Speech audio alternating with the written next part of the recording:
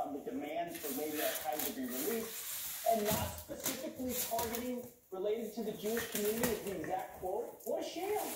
Anyone looking at this knows a synagogue was chosen on a holy day because they knew worshipers would, he knew worshipers would be inside. They caught audio of the terrorist saying, I will die for this. He called, he said he was a brother.